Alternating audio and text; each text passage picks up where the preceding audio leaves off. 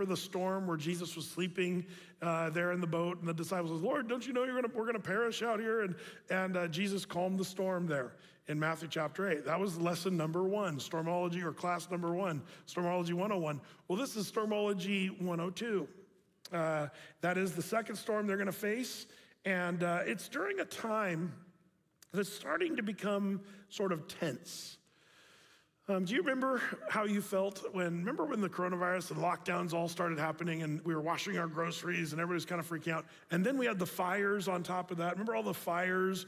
And then, you know, the, the sky was bright red in the middle of the day, but it was dark and you had to have your headlights on. And I remember just, there was kind of a feeling of like, wow, what could be worse? You know, like everything's just getting, people were dying, they were saying all over the place. And it was like, ah, what's going on? But, um, you know, I think once in a while it's good for us to have those moments when we realize, oh, yeah, we live pretty comfortably most of the time. And we, we don't really appreciate it, you know, until something seemingly is kind of a problem or bad. Um, and, and we don't have a lot of empathy for people that are going through tough things. Um, but, uh, but I think those are the moments where we realize, yeah, there's, you know, trying times. It can be difficult. But you got to put yourself in the disciples' sandals uh, in this story. Already, Jesus, their leader, well, the Sanhedrin, the leaders, the Pharisees, the Sadducees, they want him dead. That's a problem. If the government wants your leader dead, that's a problem. I'm sure they're feeling that weight. And, and, not only if they want Jesus dead, I'm sure the disciples in the back of their minds are thinking, do they want us dead too? Um, not only that, um, so the, the, religious leaders are already plotting to kill Jesus.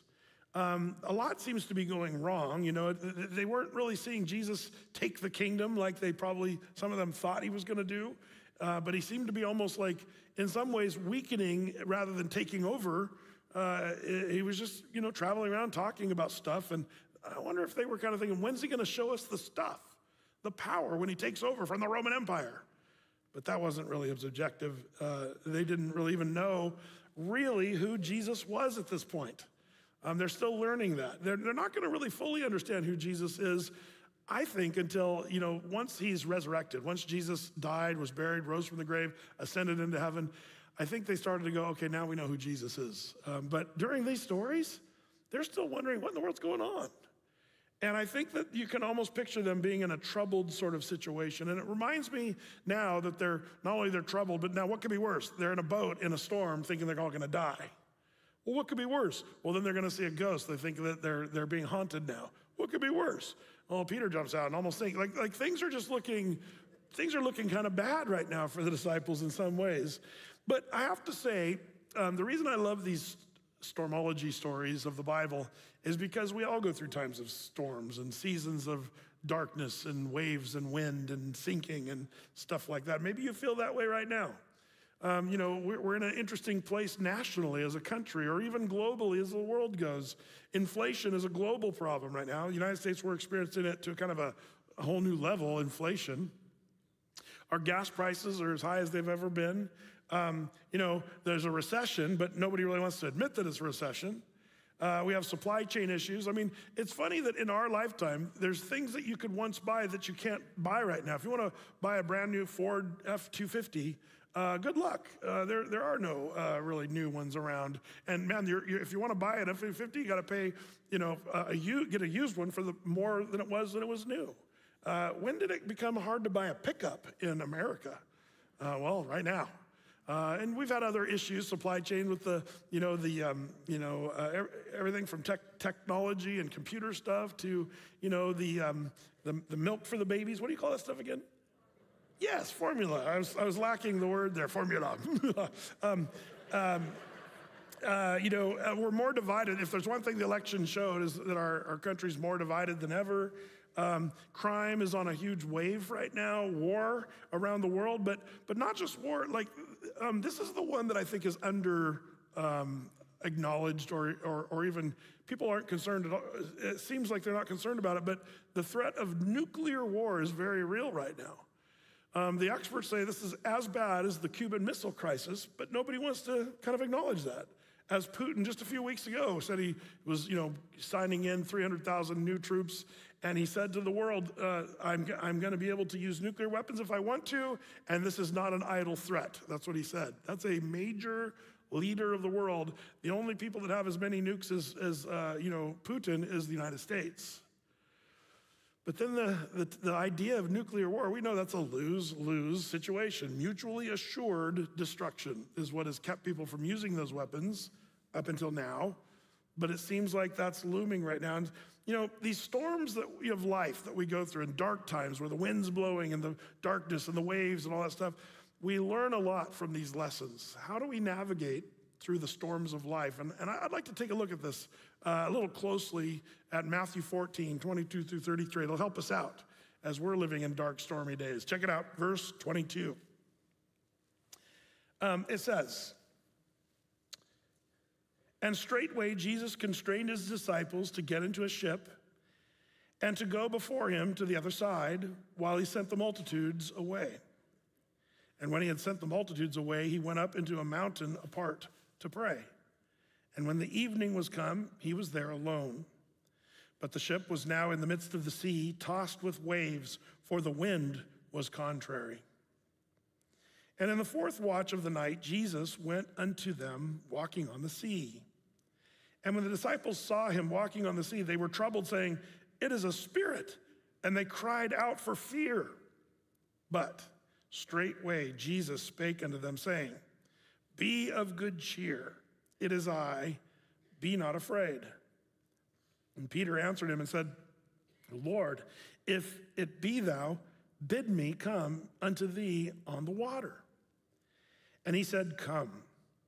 And when Peter was come down out of the ship, he walked on the water to go to Jesus.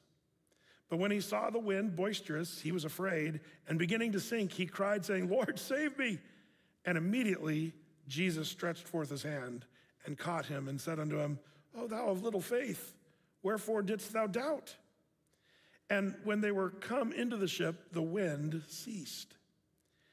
Then they that were in the ship came and worshiped him, saying, Of a truth, thou art the Son of God.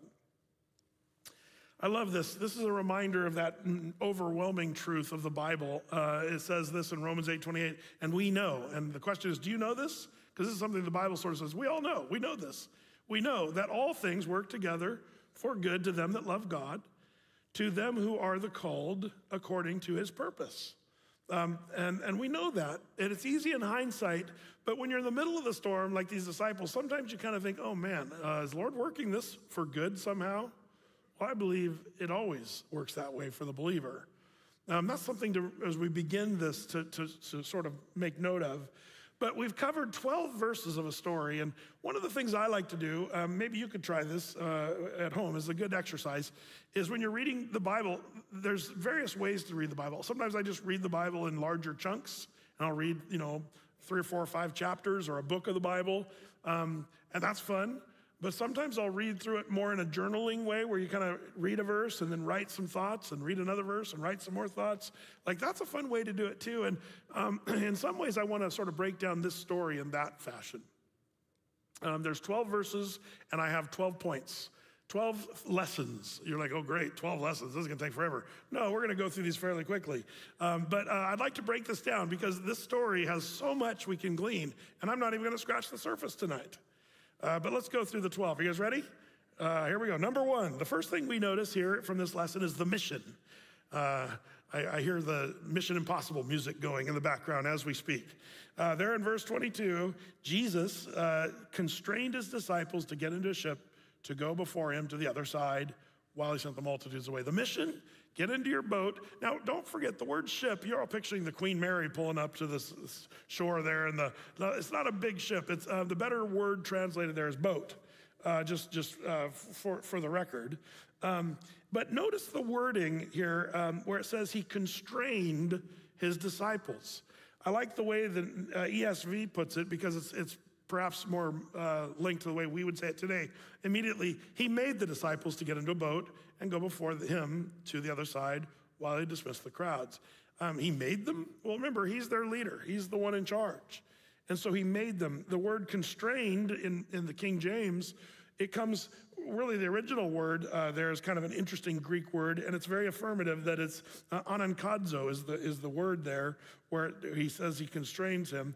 And this word anankadzo means to necessitate, to compel, to drive to by force. Like Jesus sort of forcefully says, guys, get in the boat, Go to the other side of the sea, I'll meet you over on the other side. Um, that's the mission. Jesus gives them a mission. Um, now, one thing about missions is they often are met with peril. When you go on a mission, uh, that's usually like a, a, book or a movie about missions, military mission operations and stuff. There's usually peril looming.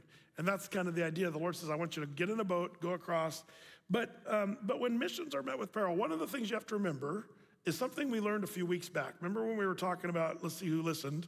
God's commandments are his what? Enablements. When, when Jesus commanded the disciples to say, go to the other side, that's as good as done. If Jesus is the one, now if I go tell you to do something, uh, my commandments aren't necessarily your enablements. You may or may not be able to do what I'm asking you to do. But when Jesus, who knows, knows all things, says, I want you to do this and go, and you're going to go to the other side of the, the sea, then that's as good as done. You can put your trust. His commandments are his enablements. Um, now, I can easily say, sitting here comfortably in Athey Creek, uh, you know, saying they should have trusted Jesus, knowing that they were going to get to the other side. Um, but that's easy for us to say. What would you have done? What would I have done if we were facing their peril going across the sea? Um, uh, the mission was to get across the sea. They should have trusted, but they didn't. But that's one of the things you and I can remember and learn from this. When the Lord sends us on the mission, gives you the assignment, his commandments are his enablements. He'll give you the resources, the strength, the wherewithal, whatever you need to, to, to f- fulfill that mission if he gives that commandment. That's kind of a cool thing. So there's some good missions you and I have been given. We could talk about going to all the world, preach the gospel. That's a commandment of the Lord. Or love one another. That's a commandment of the Lord. Well, I don't know if I can do it. His commandments are his enablements. Like these are things that we can do because they were his commandments. So, um, all that to say, we, we number one, we kind of look at this as the mission, number one. Number two, uh, so that's, that's the first verse we looked at, verse 22. Going to next verse, verse 23, we see the isolation. What's that? Well, notice here, and I always find it interesting that Jesus, who is God in the flesh, Emmanuel, Jesus said, If you've seen me, you've seen the Father. I and my Father are one. Isn't it interesting that Jesus saw it important to take time away? We see that when he had sent the multitudes away, he went up into a mountain apart to pray. Why did Jesus need to pray? And this is where the mystery of the Trinity gets very dizzying. Who was Jesus talking to when he prayed? Well, the Father. Yeah, but Jesus said, I and my Father are one. Uh, and how does that work out? Um, the math is hard for us because I think God is bigger than our brain and bigger than our laws of physics and all that stuff. But as it turns out, Jesus takes time to to seek the Lord in isolation. Um, it says that, that he was there alone. In fact, that's where he ended up in end of verse 23. When the evening was come, he was there alone. And my simple truth that we can glean from this little verse, the isolation that Jesus saw fit to have, I think if Jesus needed time away, how much more do you need time away? And then the next question is when was the last time you carved out time just to spend with the Lord? You know, it's funny, even 20 years ago, um, if I would ask that, I would think, okay, that means you getting away from, you know, people and, and, you know, things that are tempting with your time and, you know, stuff that are distracting. So go out in the woods somewhere or have a little quiet room in your house that you kind of close all the doors and spend time praying, whatever that looked like. But today, there's a whole nother element you also have to consider, and that is disconnect from your iPhone, uh, from your technology. Uh, like time alone, I think also includes shutting down your technology. Because I've noticed there's a thing where, man, we have the world in our pocket now with our iPhones and stuff. And, you know, there's texts and people talking to you and stuff going on. And I just, when was the last time you just literally disconnected uh, for a length of time and just said, I'm going to seek the Lord and, and spend time in prayer? If Jesus needed to do it, we need to do it. And if you're stressed out or full of anxiety or things aren't working out very well in your life, that might be one thing you could just check. When was the last time I really spent time away seeking the Lord? The isolation was part of this story. It's a good lesson for us to remember. Um, well, all that to say, that brings us to number three. We come into the tribulation. Brett, the great tribulation? Nope. Remember, Jesus talked about in this world you will have tribulation. That's, that's a promise. We'll, we'll go through difficult times. Um, and that's what the disciples are now facing um, trials and tribulation. And this is, this is in, the, in the way of a, of a storm. Uh, You know, storms are troubling. You know, um, for our watch parties over in Florida, we're all praying for you guys. It's amazing how that category one hurricane just a couple days ago went through Florida and did so much damage. Did you guys see that? You don't think of a category one as doing something, but man, I saw some footage. It was looked like the category five or whatever, you know. Um, but uh, you know, storms storms are bad enough and real, but but the storms of life, we all go through them, um, and no one is um, you know completely isolated from storms or troubles. But trials and tribulations part of the deal. And so in this case, it's the Sea of Galilee. This is a. Uh, I showed this footage a while ago, but I want to remind you, the Sea of Galilee, or the, you know, it's a small, it's, it's a, it's a good sized lake is what we would call it. Um, but um, it's fun as Athey Creekers, we go out on a boat there on the sea. And it's almost hard to picture, but I have been there when the waves were three or four feet tall. And you say, well, Brett, you could take your jet ski out and have fun on that. Uh, that's not scary. But put yourself in this boat. This is there at the Nof Ginosar kibbutz, where they found a first century boat from the time of Jesus. There's a model of it there. But the actual wood and nails and everything is found. They've got, they've, they've preserved this, this boat from the first century. Uh, they call it the Jesus boat because it was from his time period. Uh, but when I look at this boat and the way it was built, I know it's dilapidated from 2,000 years of deterioration. But still, it doesn't look like a great plan if you're asking me to go out into the sea uh, with that.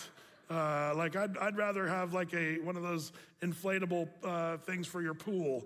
Uh, you'd probably be safer uh, than than being in this. But no wonder when it says a big ship, this is what the Bible's talking about here. And we do teachings there about the Sea of Galilee. It's kind of fun when we go to this place. But um, but all that to say, I wanted you to kind of take a look at this boat just to remind you this is why it's a problem. You're out in the middle of a sea. The Jews were not big on water, swimming, any of that stuff. They had great fear of the depths. That's why in the Bible, you have all these scary scriptures about the depths of the sea.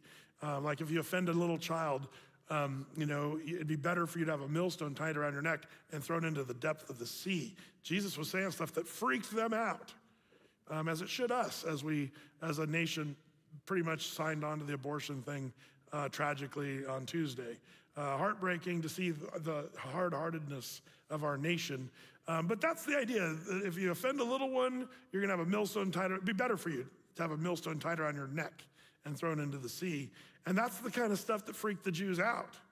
So here they are in, a, in this boat, kind of wondering what in the world's going on. And this is where the tribulation, the trial, the trick comes. By the way, on the Sea of Galilee, the, the wind howls through this canyon at the north region and it blows through and it causes that Venturi kind of effect where the, the, the, the, wind speeds up as it shoots across the Sea of Galilee. And that's why actually sizable waves and storms do, in fact, hit the Sea of Galilee in quite a radical way. It starts to raise the question why does the Lord allow us to go through trials and troubles, storms, tribulation? Why does He allow us to go through that? Um, uh, I think there's a few things we should think about, perhaps, that um, might be important for us to think about on this particular verse uh, in this lesson. Um, so, why? Number one, I think sometimes he allows us to go through these things for instruction. Um, pardon me, for correction, uh, to teach us to go the right direction. This, is a, this is an interesting one. Uh, just ask Jonah. Jonah was a guy, you know, God said, go. Jonah said, no. And Jonah went the opposite direction of where God wanted him to go. So, what did the Lord send? A storm to basically correct his course. He was going away from where God wanted him. You remember the story. The storm came and the ship was starting to break apart. And finally, they said, Get rid of this guy. So, they threw him overboard. And then, you know, he got swallowed by big fish, barfed on the beach, went and preached hesitatingly, and the whole city got saved. And then he went and pouted. Um, it's kind of an amazing story, the book of Jonah. But all that to say, the Lord used a storm in Jonah's life to correct his course. And I think the Lord uses storms for correction. But he also uses storms sometimes for our instruction, uh, to help us learn, maybe to trust in the Lord, maybe to not keep our eyes on the waves, but keep our eyes, like there's so many lessons we can learn through the storms. And, and like I said, Stormology 101, Matthew chapter 8, the first storm. Stormology 102, but the question is, what would be storm number 103 or, or class number 103 for the, the disciples? Or would they ever make you college people? Would they ever make the 400 level classes? Well, the, the disciples, yes. The disciples, there'd be a time in their life, I bet they were wishing they were back on the Sea of Galilee in a storm with Jesus uh, later on because they would hit trials and tribulation like none of us have ever seen. after Jesus died and rose from the grave, waves of persecution. There were 10 waves of persecution that rolled through the church, and it was a horrifying part of church history. Read Fox's Book of Martyrs if you haven't seen that. It's something I think every Christian should see of what our early brothers and sisters went through uh, in their early parts of the church. It was radical. Uh, you know, and even the disciples themselves. You know, Simon Peter was, um, you know, crucified on a cross only upside down around 68 AD by uh, Caesar Nero in Rome. James the Lesser, who was the son of Alphaeus, um, he uh, was in his early 90s, uh, and they, they, the church history tells us he was thrown down from the pinnacle of the temple in Jerusalem, where he hit the ground, and then they threw rocks and smashed his brains in with a club. Like, that's a horrible demise. Andrew, the bro- brother of Peter, um, uh, was bound, not nailed, but bound to an X shaped cross um, uh, uh, in southern Greece. And he hung there on this X shaped cross for two days. And the whole time he was preaching from that X shaped cross as what people walked by. He was preaching salvation through Jesus Christ. Philip um, is said to have been tortured, impaled by iron hooks in his ankles, and then hung upside down to die, also preaching uh, there to, uh, to his death in 54 AD in uh, Heliopolis, Egypt. Uh, and he preached in Phrygia and also Roman province. Uh, he went all over preaching, but he ultimately died a, a, torturous death. Like we could go on and on. These guys, these, these disciples of Jesus, these were just, this is storm, stormology 101, 102. But uh, they were going to hit some big storms, but they would be ready for those and equipped because the Lord was using these storms as uh, instruction. But also, the storm the Lord uses for revelation. When do they see Jesus in his power, in his might? They see him in the storm. Just ask, you know, Shadrach, Meshach, and Abednego. When did those guys, Old Testament guys, see Jesus? They saw him in the fiery furnace. It's in the tribulation time, the trouble, you see Jesus the clearest. And by the way, when will the Jews see Jesus the clearest? During the Great Tribulation that Jesus talked about in Matthew 24. That's when the Jews, their eyes will be opened and they'll see Jesus clearly. In this case, in our text here, in verse 24, um, we see tribulation as they're going through this time. But why does the Lord allow them to go through this? I think these are three possible reasons. There's plenty more we could talk about, but those are the things we should remember. When you're going through difficult times, what is the Lord doing? Is He correcting you? Or is He instructing you? Or is He revealing Himself to you? What is the Lord doing? It's good for us to see why we go through those things. So that's number four. Uh, number three. Number four, the solution to the problem. I love this. This is a simple one. Verse 25. Uh, it says there in verse 25, and in the fourth watch of the night, Jesus went unto them walking on the sea. And I, I like to just add to this point and make note Jesus is the answer. He's always the answer. The disciples are in trouble. Jesus is the answer. Remember old Andraé Crouch's song? I grew up listening to this. It was playing on records in my house when I was a little kid. Jesus is the answer for the world today. Above him, there's no other. Jesus is the way. Um, and that's the truth. So, Jesus, you almost hear the sound dun, dun, dun, as Jesus comes into this picture and he's uh, walking on the sea. We see Jesus as the solution. But before we leave this point, they didn't see Jesus as the solution, they saw him as a ghost. Interesting, isn't it? That they didn't recognize him right out of the gate. Sometimes it's hard to recognize the solution that God is providing. Um, sometimes we might even see it. These disciples thought, okay, what could be worse? We're toiling on the sea, drowning, going, our ship is, you know, filling up with water, and there's a ghost coming at us. Like, what could be worse? But it wasn't a ghost, they just missed it. Um, the solution is always Jesus. The question you should ask yourself is what are the storms you're facing? And you're looking for a solution, but could it be the solution is simply Jesus? Looking to, trusting in, keeping your eyes on Jesus? Because that's the answer for this one. Um, and I think oftentimes that's the answer for your storm that you're going through right now. Keep your eyes on Jesus. That's what we're told to do. So you've got the mission, the isolation, the tribulation, the solution, and then comes the trepidation. Huh? That's just a big word for uh, extreme fear or severe uh, fear. I mean, here's some experienced fishermen. Uh, and these guys have been in this boat. They've been doing this. A lot of these guys are experienced fishermen. Um, but now they're all shrieking in fear. We see that um, here. Uh, in fact, if we sneak preview what's going on, did you see in verse 26 at the end? Um, it says, uh, uh, they thought it was a spirit, so they cried out for fear.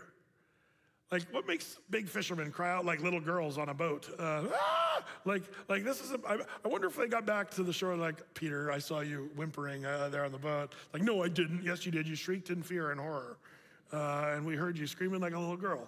Um, I don't know if they argued about that, but um, it's funny how fear makes you do kind of goofy things. Here they are shrieking because they think a ghost is coming to them on the water. And uh, again, it's easy to sit here and joke about that.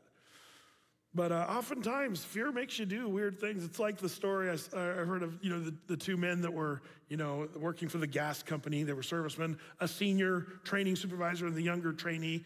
And they were going in a suburb neighborhood, looking at all the gas meters, reading them and all that. Well, uh, they parked their truck at the end of the street and they walked around and did this. And at the last one, the younger guy said, hey, I bet I could beat you to the truck. And the older guy said, no way, $10, you know? And so, pure, they both took off running.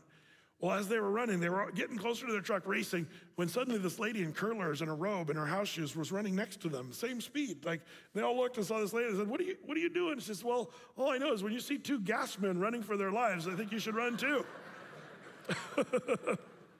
Uh, you know, uh, fear makes you do silly things. We have seen this in the last two years, three years of our, you know, fears of the, you know, the coronavirus and what fear has caused people to do.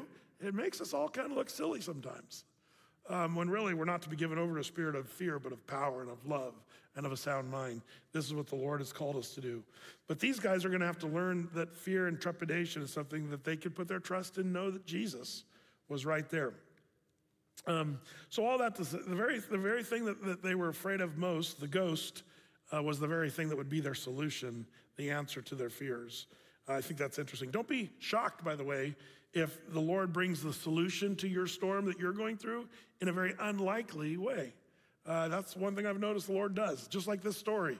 Who would have thought the answer would be Jesus walking on the water, uh, coming to them and saying, Hey, it's all good. Everything's going to work out great. So, number five, the trepidation. Number six, we then see the instruction in verse 27. I love this, this verse. This is probably my favorite verse in the whole story. It's verse 27. But straightway Jesus spake to them, saying, Be of good cheer, it is I, be not afraid. Three point sermon right there. You could do a whole sermon on this and spend a whole time just on this verse. Um, I love this. He says, Be of good cheer. If, if you're kind of a logical person, you might think maybe they should have said, uh, he should have changed the or- order a little bit. Uh, like, it is I, be not afraid, be of good cheer. Like, that's the more logical order, if you ask me. Why would Jesus say, be of good cheer? Uh, it is I, be not afraid. Uh, the, um, the answer, I think, is that one of the things a mature Christian does is they are of good cheer before they hear the answer or see the solution. That's the, the, the believer that's a little more squared away, maybe, uh, than some of the others. A person who just has joy, even though they don't know what the answer is to their situation. Um, I, I love that about Jesus. Jesus was, was a guy that seemed to be upbeat. He wasn't Eeyore, he was more of a Tigger. Oh, Brett, I saw the movies. I think you look like Charles Manson. Um, well, that's the movies. Uh, and they've, Jesus, well, he was full of joy. Even when he went to the cross, it was the joy that was set before him that he endured the cross, despising the shame. In fact, one of the great messianic psalms about Jesus in the Old Testament is Psalm 45, verse 7, that says, Thou lovest righteousness, hatest wickedness. Therefore, God, thy God, hath anointed thee with the oil of gladness above thy fellows. This is talking about Jesus, who is anointed with the oil of gladness. And by the way, I always like to bring this up. Um, kids would not run up to Charles Manson and want to sit on his lap.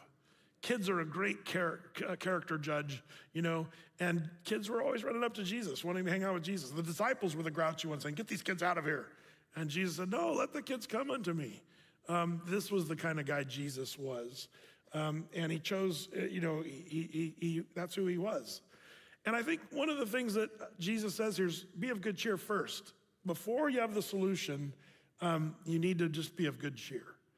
Um, I've seen this, by the way. I've seen this in people over the years, and it's a real shocker.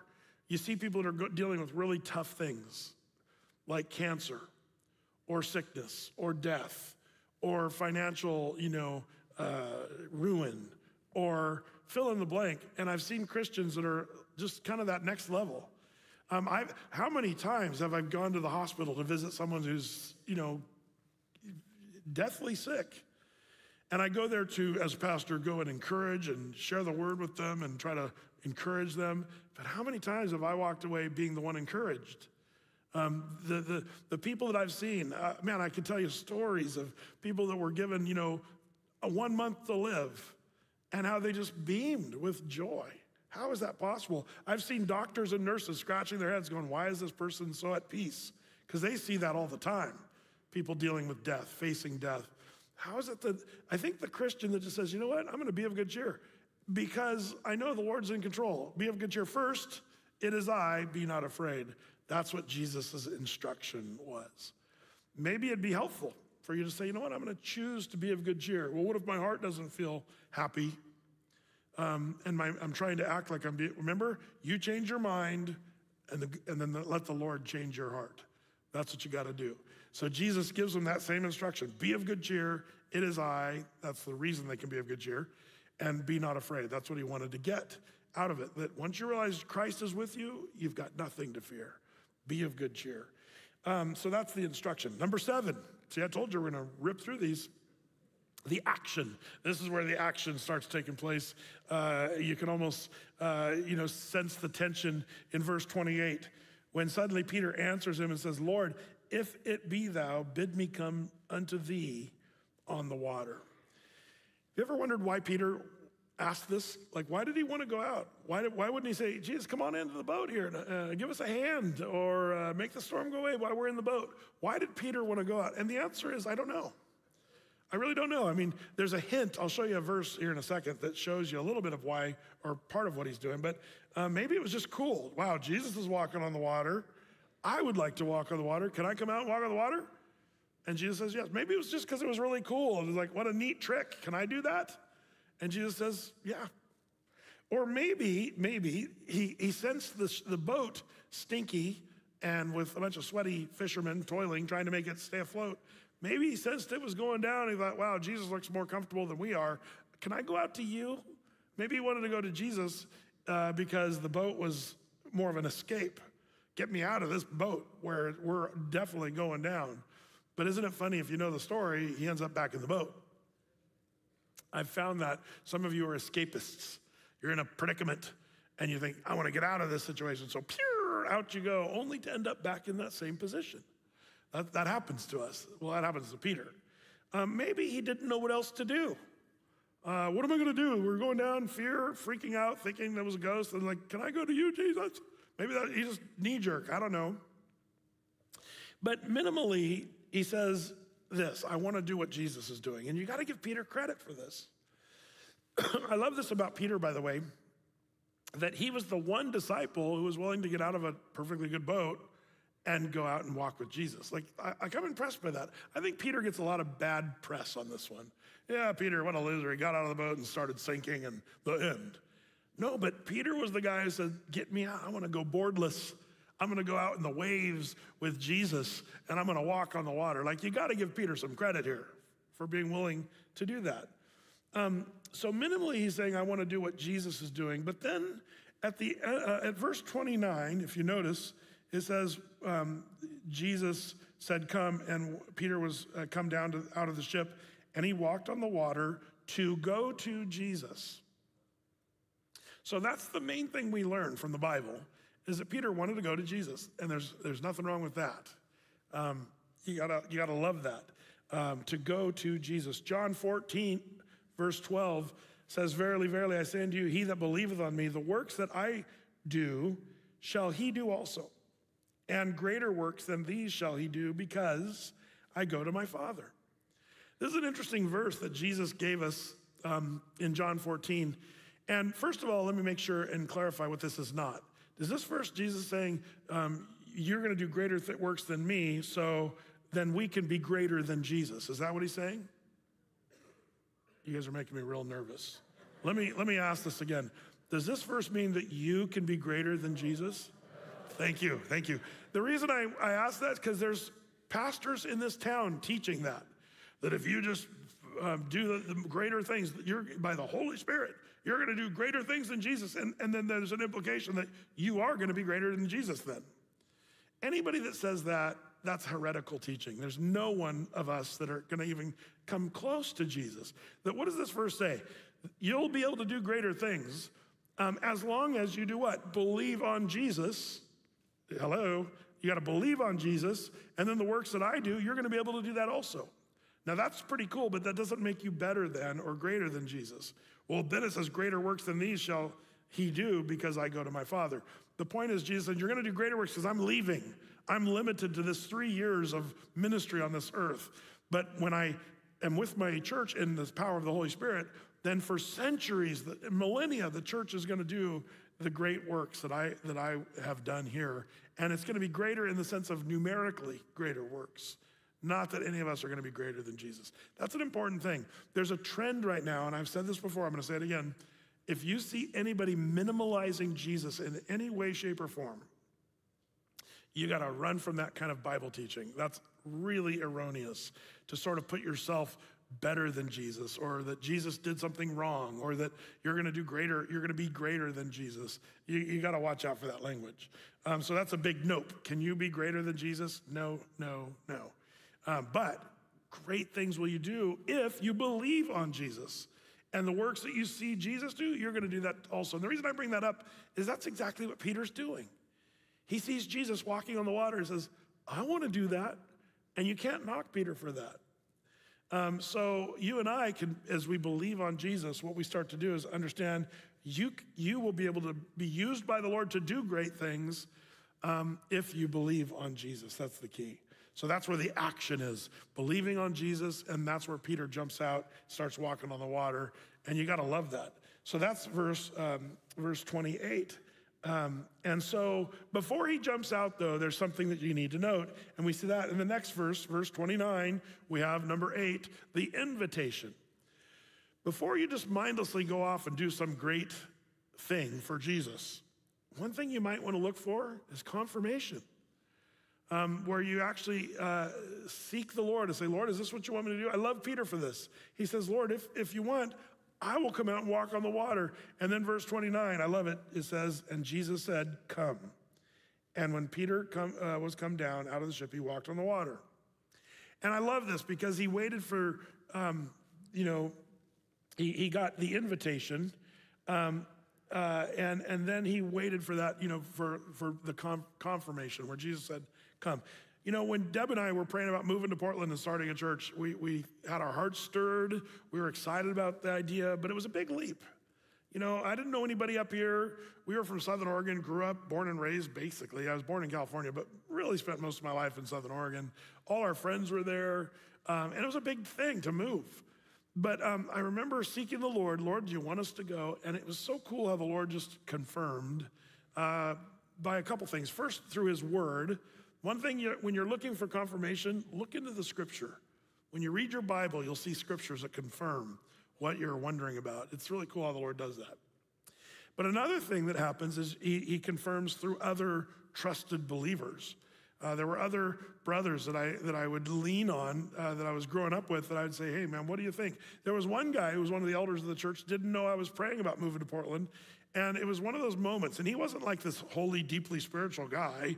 He just walked up and said, Brett, I don't know what it is, but the Lord's put it on my heart. This is not the kind of language this guy would normally say. He said, The Lord put it on my heart to tell you whatever you're praying about, the word the Lord put on my heart is go. And he didn't know I was right on the cusp of making the decision of moving to Portland. It was just one of those moments you just kind of go, wow, this is like the Lord confirming um, what he wanted for us to do. Um, look for that before you go, you know, ventures of faith. Even Jonathan and his armor bearer looked for confirmation, didn't he? I mean, this is a great uh, story of the Old Testament. First Samuel, Jonathan wakes up early, wakes up his armor bearer and says, Hey, I think we should go fight some Philistines, just you and me. And the armor's like, Cool. So they go off. But remember, he said, But if the Lord's in this, when we reveal ourselves to the Philistines, they'll say, You guys come up here and we'll show you a thing or two. And we'll climb up the cliff and fight them. But if they say, you guys wait right there, we're coming after you, then we need to run because that's the Lord saying it's not going to be a good thing. And so they go through that. And of course, the story goes where the Phil says, You guys get up here, we'll show you a thing or two. And, and Jonathan climbs up and just him and his armor wipes out the whole army. It's this beautiful, amazing battle of the Old Testament. There was a guy who um, felt his heart stirred and he uh, asked the Lord and said, Should I go? And the Lord confirmed. Uh, that's always the way it works. So you have the mission, the isolation, the tribulation, the solution, the te- trepidation, the instruction, the action, the invitation, where Jesus said, Come. And now you have number nine, the distraction. The distraction. One of the things that the enemy wants to do is get your eyes off of Jesus and onto your troubles. And that's what happens. Poor Peter, verse 30. Uh, he was doing so good at verse 29. But when he saw the wind boisterous, he was afraid. And beginning to sink, he cried, saying, Lord, save me. Again, I give Peter credit. He, he walked on water. He's the only guy in the world that's ever done that other than Jesus. Uh, so let's give him credit uh, there in verse 29. Um, but I also give him credit for when he started sinking. He still knew what to do. He cried out to Jesus and said, Lord, save me. That's where the rescue would actually come. And, um, you know, it might be your temptation to keep your eyes on your trouble. Are you one of those people that go through tribulation and trouble and you just keep focusing and your mind is obsessing about the problem?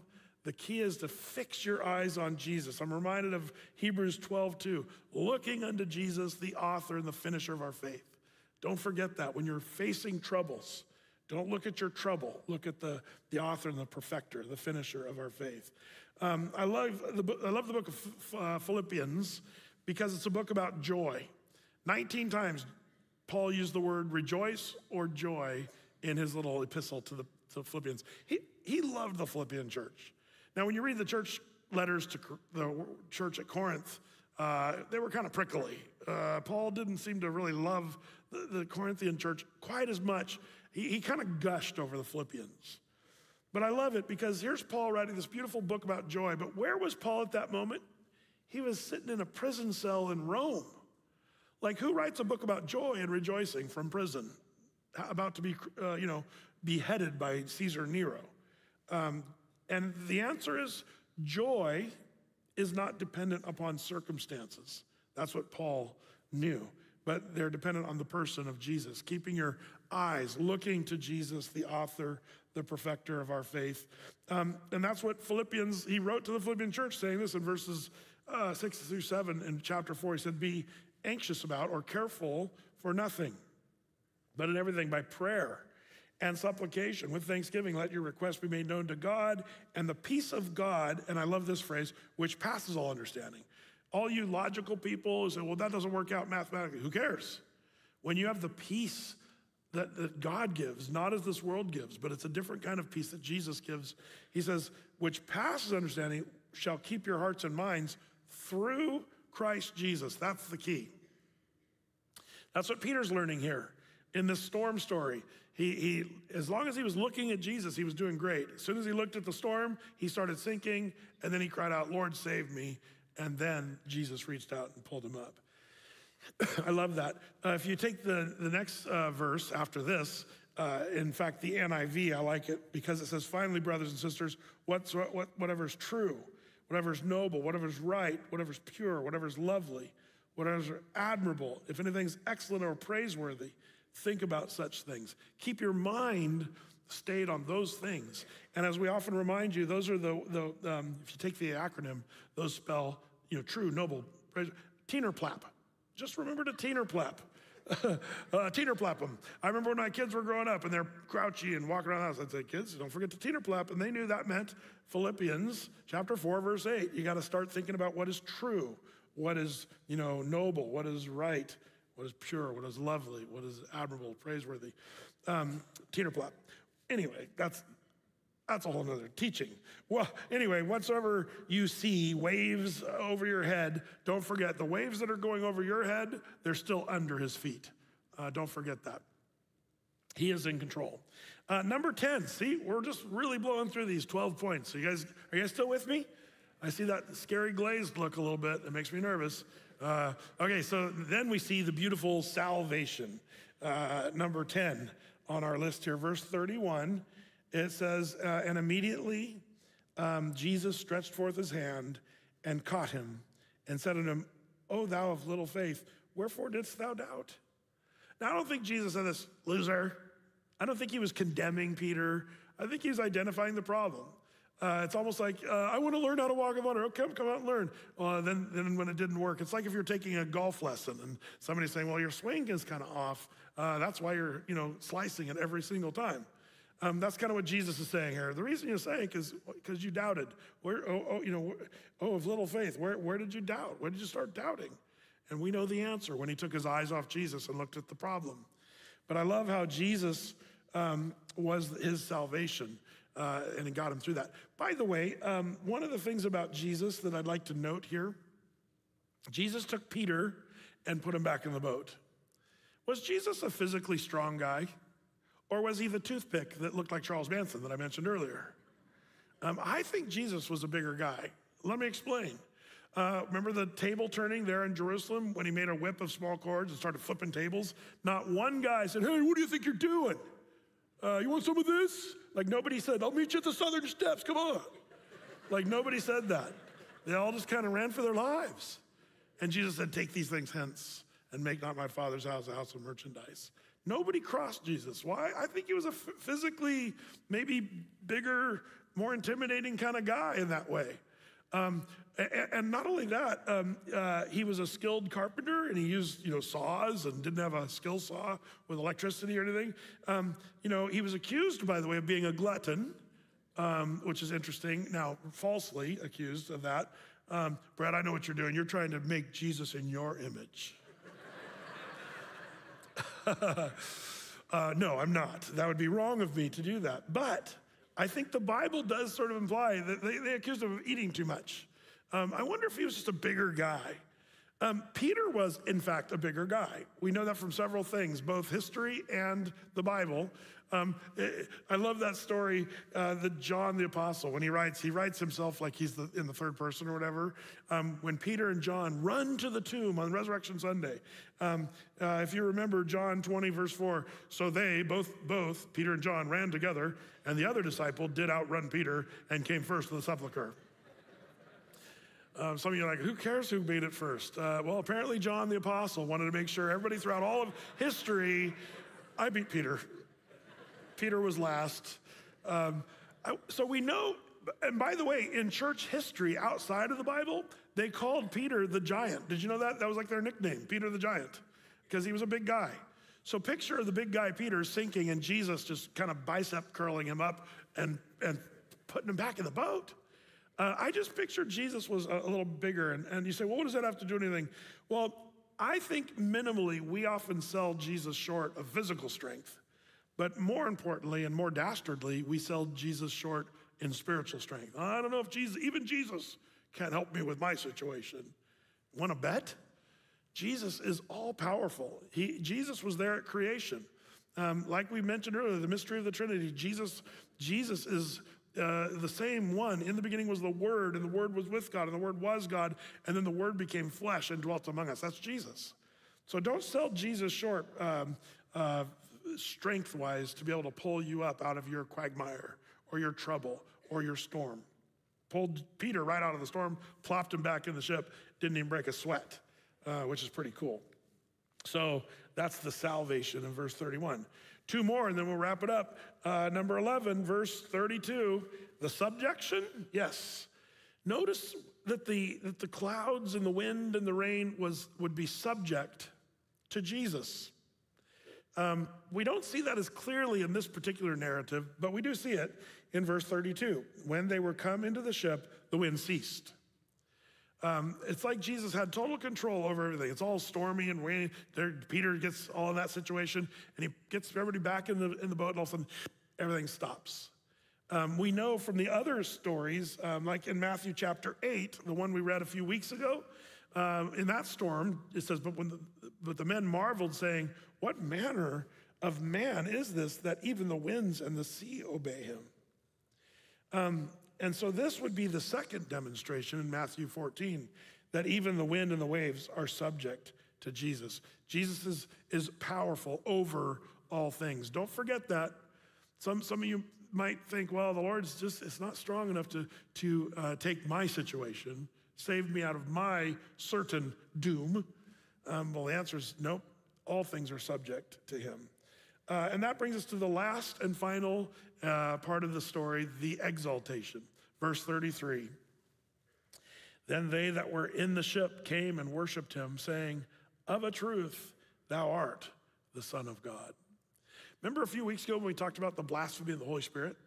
Well, this is the opposite of that. This is where the, the disciples like, Yeah, you're the Son of God. This is it. And, and then they worshiped him, it says here. And I, I think that's the key. When you find yourself um, out of the storm, when the, you know, one of the things we forget to do, it's like the, remember the, the 10 lepers that came and Jesus cleansed the 10, and nine of them just took off. Pure, never to be seen again. But the one came back and said, uh, by the way, thank you. One came back thankful and, you know, giving glory to Jesus for the healing. I wonder how many of us miss the fullness of what the Lord would have because we, we, we get out of the storm, and not only do we not give glory to the where credit is due to the Lord Himself, but we think, oh, what a coincidence, the storm's over now. I guess I'm good. It wasn't that big a deal. And pure, off we go in life, forgetting what God has done. That's why worship is so important. Any good parent's gonna teach their kids to be thankful. If at Christmas time you give your kids gifts and they all just kind of open their, the presents and then throw the st- stuff on the side and just walk out of the room without saying anything, you'd be like, mm, we have some correction to do. Junior needs to learn to be thankful. Uh, if they're not thankful, then we're doing something wrong. In the same way, I think we Christians are little spoiled brats sometimes. We're in a storm, oh, Lord, save me. And the Lord saves you, like, okay, pure, and off we go. And there's a little dust cloud uh, in our little puff, like in the cartoons, as we take off on our merry way. And we forget to, to uh, the exaltation, giving glory where glory is due. Um, you know, Jesus saves us. We need to remember to give him credit. That's why when you come to church on a Saturday night at six o'clock, like this group, you got to come ready to worship the Lord. He's done so much for us. We should be singing songs of praise and worshiping him. I love tonight how you guys, as soon as we started singing, I saw hands being lifted and people being thankful. That's what we need to be doing. And that's such a key part of what church is actually about to gather and say, we're giving glory and honor to the one who deserves all the exaltation we can offer. Um, that's the Lord that we serve. So be ready with today's storm so that we can be prepared for tomorrow. Uh, whatever storms may come. The disciples, they thought this was a big deal in their life. It was, but wait till the next storms. These were all part of the things the Lord was doing to prepare, to instruct, and to ready the disciples for future things. Maybe that's what the Lord's doing for you, for me. May the Lord give us ears to hear as we learn these 12 lessons from 12 verses in Jesus' name. Lord, we're thankful.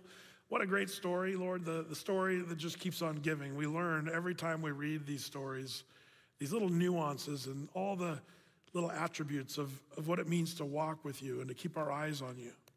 Lord, I pray for your church that we would be a, a people that aren't easily distracted by the waves and the wind. Help us to keep our eyes fixed on you, Lord. Give this congregation strength, even in the midst of the storm, no matter what my brothers and sisters are going through here in this place. Lord, in their lives right now, I pray that they would put their trust in you, keep their faith dialed in, Lord, for you are the author, the perfecter. We keep, keep our eyes fixed on you, Lord.